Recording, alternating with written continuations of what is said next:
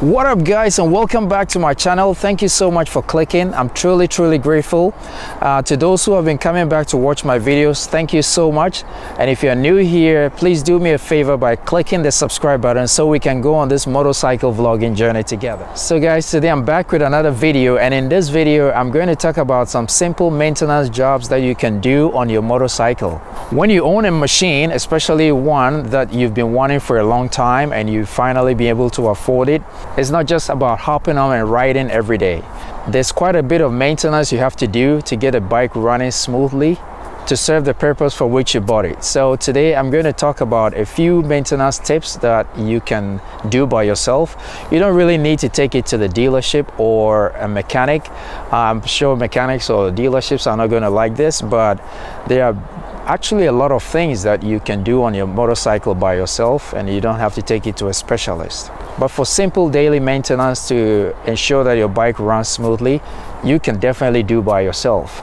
If you don't know how to do it, just with a bit of confidence and with watching a few YouTube videos, a few tutorials on how to, I'm sure you'll be able to do it. If I can do it, you can do it too. So stay tuned.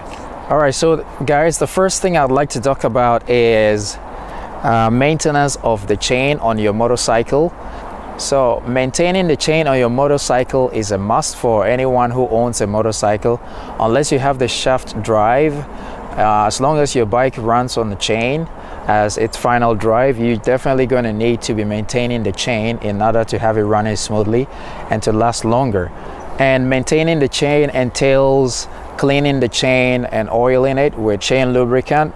Now, you don't want to use just ordinary um, engine oil or any kind of oil or something like that. You definitely want to use a lubricant meant for for lubricating uh, chains and specifically motorcycle chains so that you can uh, have your chain running smoothly all the time. So, so as you know, there are tons of chain lubricants out there so you pick whatever suits you. But I typically clean my chain after I see that the oil has washed off after riding it in the rain or uh, just when I see that the chain needs oiling I oil it and every now and then periodically I would clean the chain and put on new lubricant so cleaning your chain is a must if you ride your motorcycle especially in the rain and in bad weather. So it is something you can do. Just you need to watch a few tutorial videos and you'll be able to do it by yourself. You don't have to take it to a mechanic to do it for you because that's going to cost you money. Get the cleaning tools yourself. Get your own lubricant. There are so many brands out there. Any lubricant that you think works best for you i'm not going to recommend any. There's so many lubricants some might work for you, some might not be suitable for you. Choose what suits you best. But maintaining your chain is an absolute must if you have a motorcycle. The next thing I'll talk about guys here is washing your bike. Now this might seem unimportant, but I would say it's very important because it's a motorcycle and there are many open parts. And if you wash your bike yourself, then you know where the water is going. Um, if you take it to a car wash and the pressure washer is used, then whoever is washing might not know parts of the bike that you don't want water to seep through. But if you wash it yourself, even with a pressure washer, then you know exactly where the water is going and you'll be careful not to spray it into parts that you don't want it to go. So it's very important that you wash your bike yourself if you don't have that opportunity, that's fine. But if you're washing it at home, is best. And if you're using a pressure washer, you know where you are spraying the water and you're very careful with that. But don't get me wrong, the pressure washer is very, very good for keeping your bike really clean. But it's better if you do it yourself then you don't have to worry about water getting into parts of the bike that you don't want it to get to.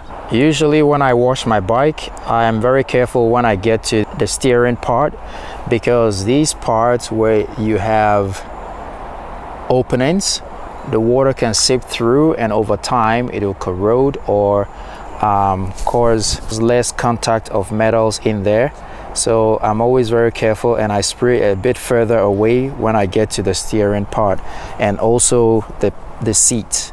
So when you get to the seat you want to be careful because then water can go through these parts and seep under the seat.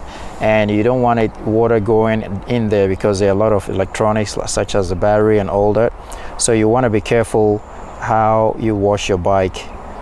I know that the manufacturers do a good job uh, making sure that important parts are sealed and protected from the weather but still you don't want to get a pressure wash too close to the to certain parts because water is going to go inside and over time it might cause some problems. So just something to take note of.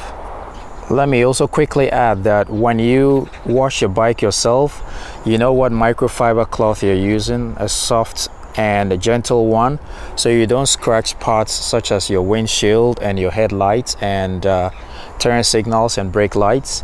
Uh, this is also very important because if the right towels are not used over time, you're going to see lots of scratches and it's going to deface these surfaces. So another reason why you want to be careful and wash the bike yourself because over time it's going to prove to be useful. Another maintenance tip is changing your brake pads. So this might seem a bit intimidating at first, but if you go through a few tutorials you should be able to change your, them yourselves. Um, this will save you quite a bit of money because usually when you go to change your brake pads you will buy the brake pads and then you have to pay for workmanship as well. So with a bit of confidence I'm pretty sure you'll be able to change your brake pads yourself. It only takes about 15 20 minutes if you have the right tools. Once you have the tools you buy the brake pads you watch some tutorials you can do it yourself with a bit of confidence. But word of caution if you know you are not confident enough please please please take it to the dealership or to a workshop to get it done for you.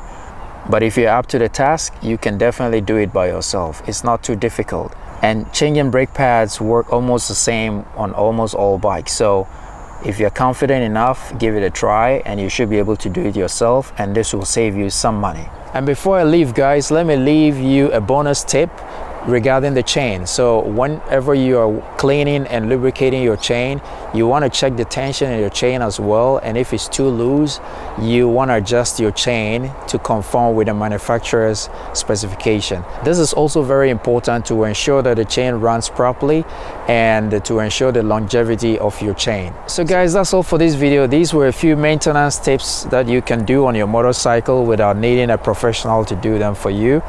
Um, if you like the video, please give it a thumbs up and leave a comment down in the comment section. If you're new here, do me a favor, click the subscribe button so we can grow this channel together. Thank you so much for watching guys. Till I see you in the next video, ride legal, ride safe always. Peace.